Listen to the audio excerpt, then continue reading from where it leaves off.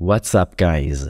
In this tutorial, I will show you how to fix the sign up is currently unavailable. Please try again later error you are getting when trying to sign up or log in to your OpenAI account to access ChatGPT.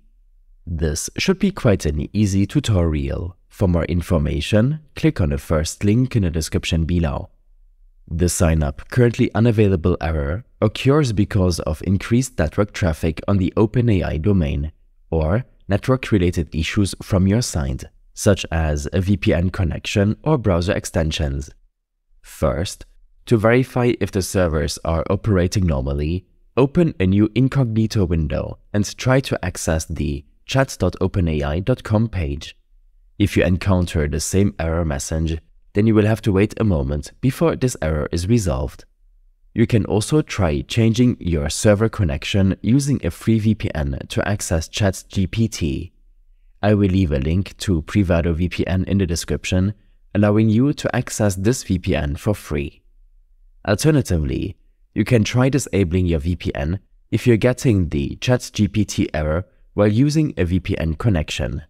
If the issue persists, open up your browser of choice, in this case Google Chrome, and navigate to your browser settings. Here, in the Privacy and Security section, select Site Settings, Cookies and Site Data, and then click on See all site data and permissions. Search for openai.com and proceed to delete the site data and cookies.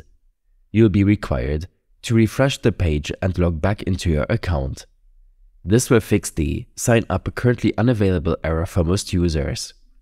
If the problem persists, then make sure to disable your browser extensions, especially those that can alter your network connection or those that work with ChatGPT.